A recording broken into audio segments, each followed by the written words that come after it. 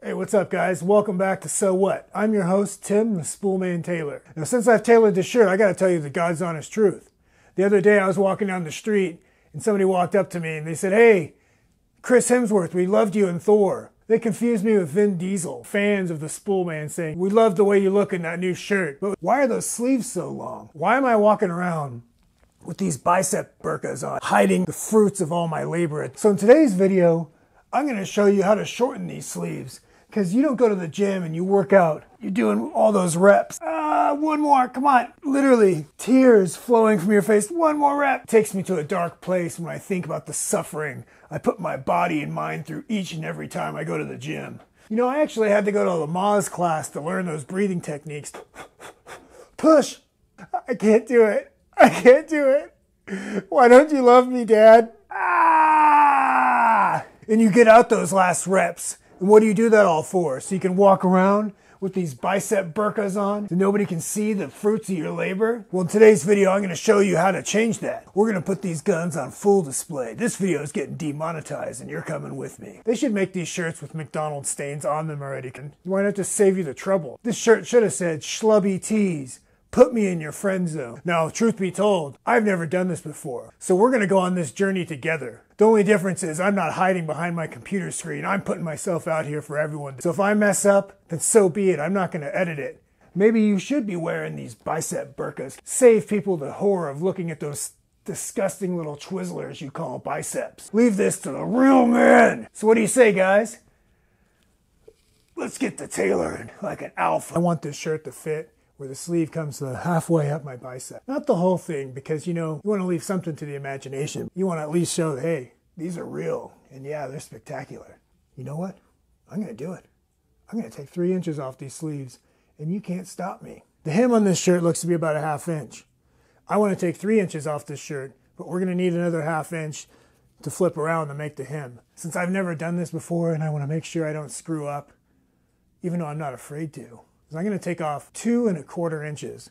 Now it's time to measure and make our cut. I'm going to iron these sleeves just to make sure my measurement's nice and exact.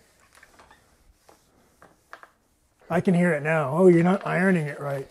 You know what? Go ahead and make a video on how to iron correctly, and I'll hop over to your comment section and tell you what you're doing wrong. Two and a quarter. The store I go to did not have fabric chalk, so I bought sidewalk chalk.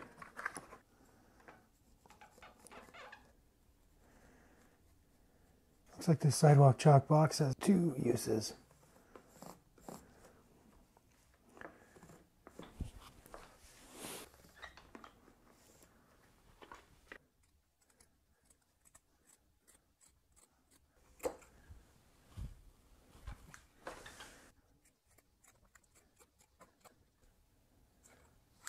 Now we're going to use this hem tape. You can get a rough idea of how much I need and cut it before I put it in there. All right, let's do that twice. Because unless you want to do one sleeve, which is fine, you can just do one sleeve. Maybe you only have one good bicep. You probably have none. We're going to flip this shirt inside out. We're going to take, stick the hem tape underneath the seam as we fold over. And it looks like it's going to be easier to do this in sections, so I'm going to go ahead and do that now.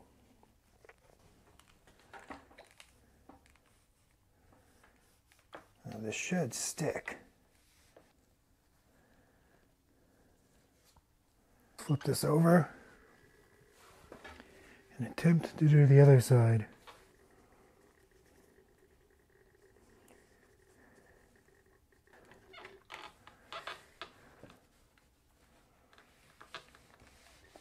Is uh, one of the hardest things I've ever had to do, guys. I'm not going to lie to you. What that hem tape does is that you iron it. It sticks the seam, the fabric together. I'm going to need to fill in a little extra spot here. Wasn't long enough. That's what she said too. Okay, as you can see, I did an absolutely horrible job, but we're going to roll with it. Now we're going to apply what we learned from the first side, which was absolutely nothing.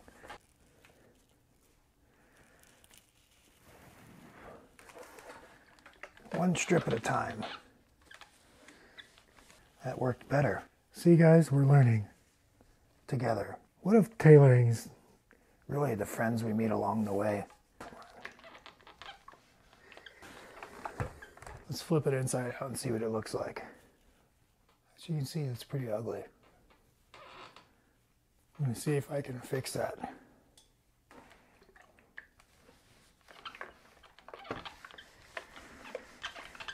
And try and get this seam as nice and straight as possible. You know what? I think that's going to work. It's about as good as it's to get. It's time to get out the sewing machine. In order to do this and give it a nice factory hem like you see on most t-shirts, we're to need to use this twin needle. Now we're to put in our twin needle. Remember guys, don't ever share needles. Let's start. And back stitch it a few times. And let's go. Try and keep this as straight as possible. Kind of using the presser foot here to keep it level with the side of the, the fabric. It's okay. You don't have to go so fast. Slow it down a little bit. Take a breather. Okay, whenever you guys are ready, we're going to continue, okay? I'm not freaking out at all. I'm worried about you. Okay, let's go.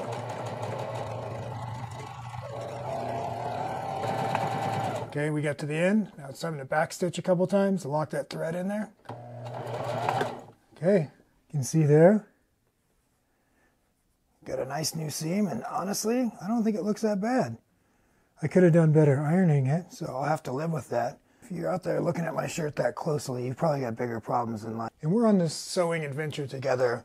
We're going to take what we learned from doing the first side and apply it to the second side.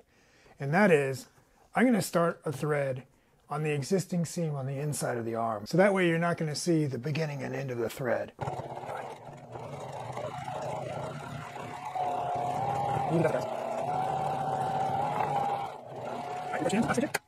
Yeah, it looks good, right guys? Oh, that's what's that? Yeah, it looks like complete shit, doesn't it? Well, unfortunately, shortening the sleeves have brought them back to this baggy state. But fear not. Let's measure how much we want to take off this sleeve. We're going to measure this baggy piece of shit. We're going to take an inch and three quarters at the top of the sleeve, and we're going to taper that down to about an inch at the bottom.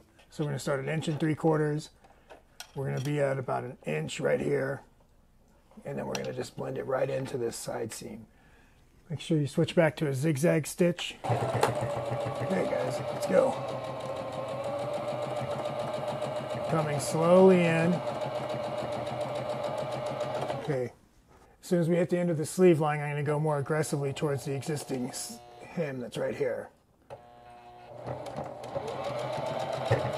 Okay, once we meet up with that hem, we're going to reverse stitch.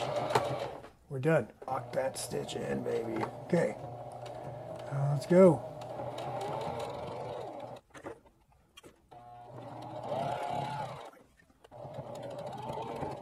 time to cut off this extra fabric on the outside of the new stitch with our pinking shears.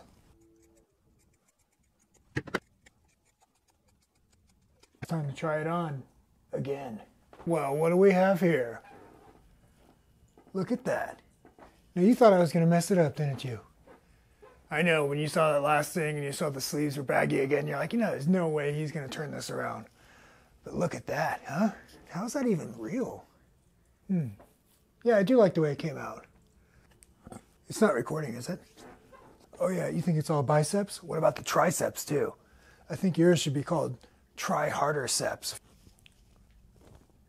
So for all intents and purposes, that's how you hem your shirt to show off those guns. Now when people see you, they're gonna have to check their glasses. Honey, I don't have my glasses on. Is that Chris Hemsworth over there? Side effects of having a shirt that fits like this? Extreme confidence. Sure, the seam may not be perfect, but it's better than your form when you're trying to bench 135 and you need somebody to help it off your chest. I can still hear the sounds of your screams in my sleep. Help! Help! I can't do it! It's too heavy! So there you have it, guys, and maybe one or two girls that watch this. That's how you tailor your shirt! This just came today in my alpha male. Ooh, my pronouns are now he. Hems his shirts to fit like an alpha. I loved you in Thor. Oh, thanks. You know, it happens all the time. Look, guys, I'm sorry I got a little carried away. Uh, I hope you enjoyed the video. Thanks again for watching, and I'll see you next time, okay, guys? Take care. Dare I say perfect shirt?